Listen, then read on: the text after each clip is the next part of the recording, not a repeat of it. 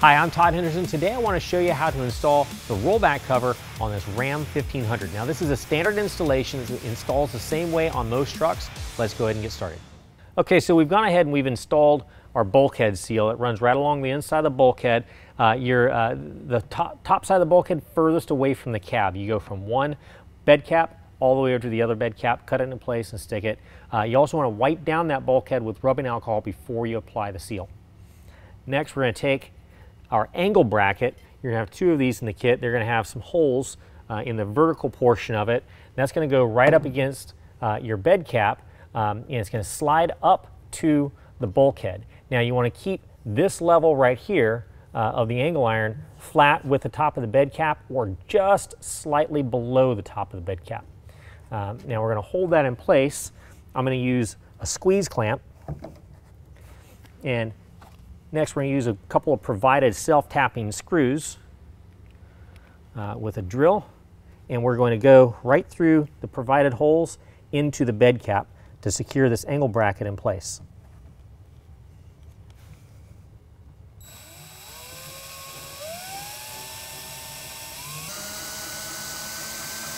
We're going to do that on the driver's side as well. We're going to take our canister, we're going to position it right on top of the hanger brackets. All right, now before we fix this canister to the canister bracket, we're going to push the canister all the way up to the bulkhead and pull the bracket all the way onto uh, the canister bracket. And then use provided self-tapping screw and go through the, the hole in the center of the bracket. Repeat the same thing on the passenger side. All right, so now what we're doing is we're grabbing the passenger side rail. Uh, we're gonna notice you've got a, a, little bump stop that's over here. It's towards the tailgate. Uh, up towards the bulkhead, uh, you'll have this piece of plastic that hangs out. The silver inner rail is gonna face towards the inside of the bed. What we're gonna do is we're gonna set that on top of the bed caps.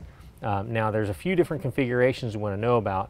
This right here has a bed rug. This is probably the easiest and the best way to install this with the bed rug.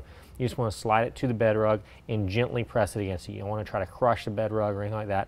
It's with the tailgate closed, push it up against the bed rug. If you had a drop-in bed liner, uh, you would actually want to unscrew the drop-in bed liner and uh, put it about one eighth of an inch away from the painted surface of the tailgate. Um, same thing if you had like a spray-in bed liner, just keep it about an eighth of an inch away.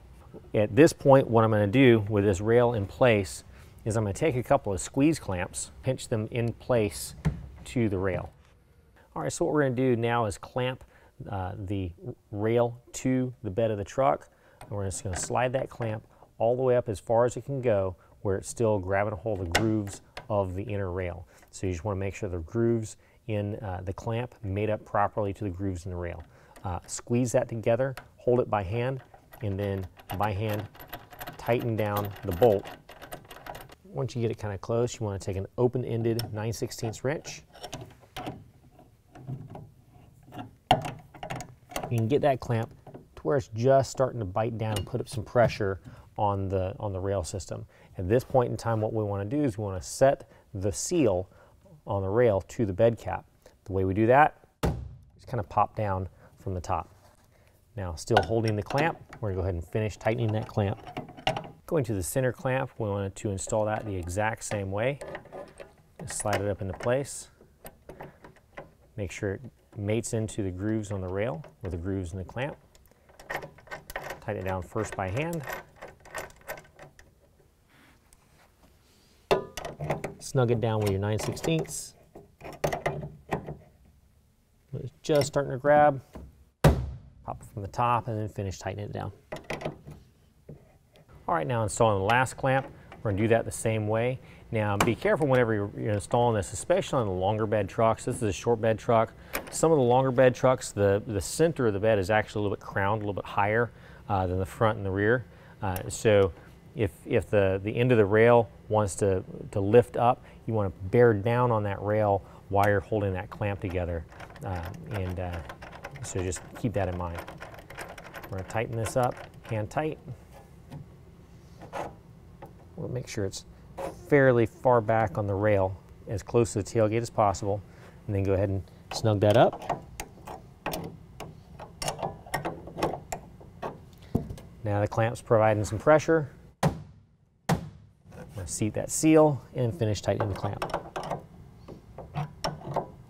Repeat the same process on the opposite side. Now we've got this uh, piece of plastic coming out off of the rail that needs to be attached to the inside of the canister. It just helps the, the cover guide back and forth into the canister. I'm to peel away uh, the adhesive protector. Now I've already wiped off this surface with uh, isopropyl alcohol. We're to do that on both sides. All right, next what we're going to do is rotate the blanket into the rails. Uh, when we do that, we're going to need to pull on this latch to make sure the uh, latches come in uh, so that it clears and will uh, go past these stops. Uh, so we're going to make sure that our felt guides are on top of the blanket of the cover. Line it up, slide it into the rail. It is now contacting, so I'm going to pull uh, the latch release to go past. Now I can go ahead and just start adjusting the rails. Now the rails should be preset from the factory. There's a couple things you want to watch out for. Um, number one, you want to be able to have a little bit of wiggle room back and forth. You don't want to be too tight because it will drag as you're, you're pulling it towards the tailgate. Um, so you want to have an eighth inch on either side whenever you adjust these rails. To adjust the rails, what you're going to do is with a half inch uh, wrench, you're going to loosen up uh, the nuts that, that hold these screws in place. Uh, that way the rails can slide back and forth. Now it may be set perfect from the factory, uh, but sometimes your bed might be a little bit out of whack, um, you know, out of tolerance, and it might need to be adjusted. Uh, so I'm going to go ahead and show you how to do that. These are 7 16 nuts. I loosen them up off of the bolts just a little bit.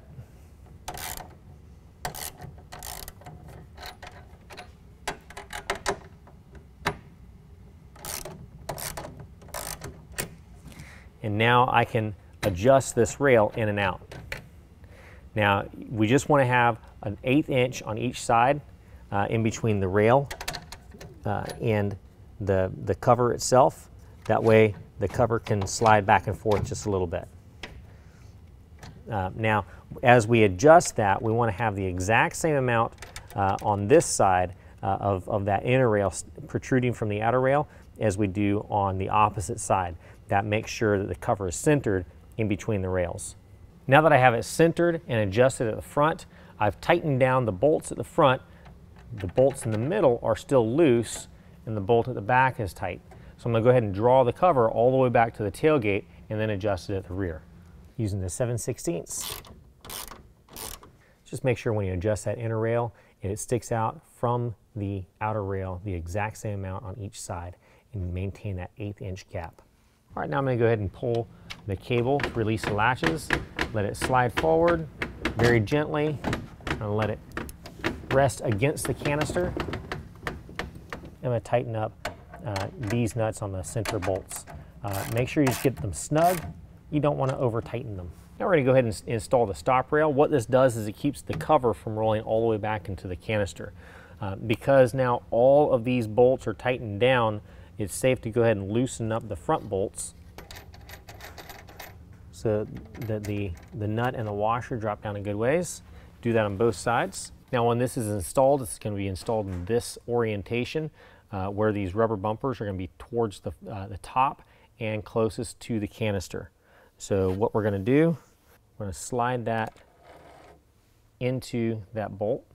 We're going to line it up to the other side. Slide it in, get it centered, and then you can go ahead and tighten down those 7 16 bolts again. Now going back to that front bolt again, on both sides we're also going to use a nylock nut and we're going to tighten it tighten it down with a 7 16 and do that to both sides as well. All right, now I'm going to go ahead and install the tail seal. Uh, this is going to uh, install uh, along this little slot right down here. Uh, and it basically just goes in all the way, snaps in, and you work from one side to the other. Now it's going to be a little bit long, so when you get to the opposite side, you're going to have to cut it to length. Now we're going to take our canister cover bracket, we're going to line it up to these two holes in the actual canister bracket, like so. And we're also going to make sure that this edge right here lines up to the edge of the outer rail. Uh, once we've got it set in place, we're going to take and loosely install to the included screws right into these holes. We're not going to tighten them down all the way at this time, and we're going to do this on both sides. All right, now we're gonna go ahead and install the canister cover in between the two canister brackets.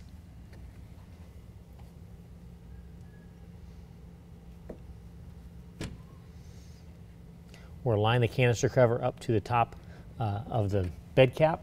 Once it's square and even, we're going to draw the canister brackets into the canister cover, make sure it's nice and tight. Now we're going to gently rotate the canister cover away from the canister cover brackets, lift it out of the way, and we can tighten those brackets down. Now we're going to go ahead and set the canister cover back in place.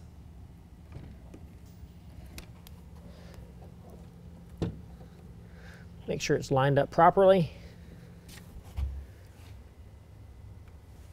We're going to use two more of the self-tapping screws included. We're going to go through the canister bracket and the holes provided. Hold the canister cover down. Put them in.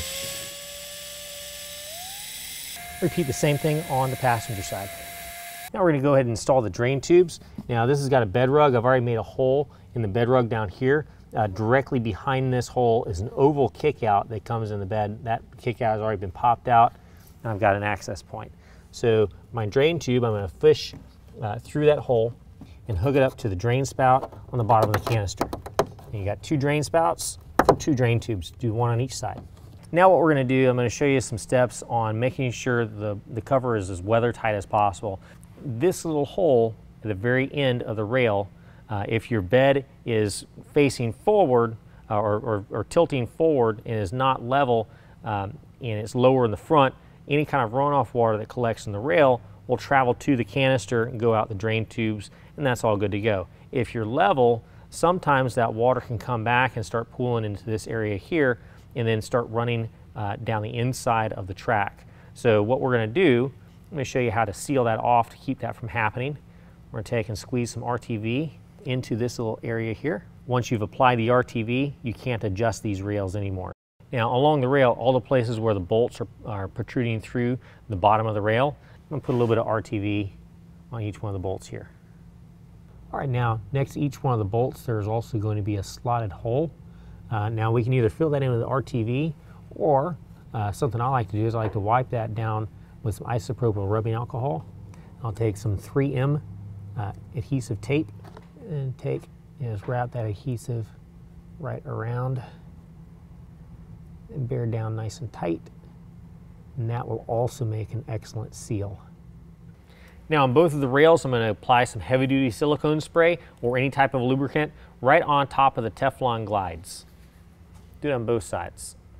Well, that concludes the installation. If you have any questions, call the experts. We're here to help you out.